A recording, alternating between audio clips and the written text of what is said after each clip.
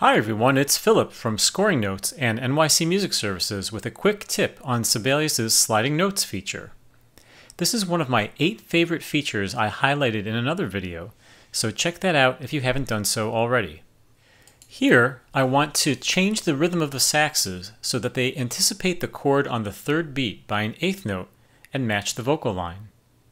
First, I'll select the notes and then use the filter in Home, Filter, Notes and Chords to filter only the notes. You can see that I've assigned a custom keyboard shortcut to this, Control N, which I usually use instead of using the gallery. With the notes selected, I'll first press the 3 key on the keypad to make them eighth notes, and then invoke the sliding note shortcut, Command Alt left arrow on Mac or Control Alt left arrow on PC to move the notes back one eighth note.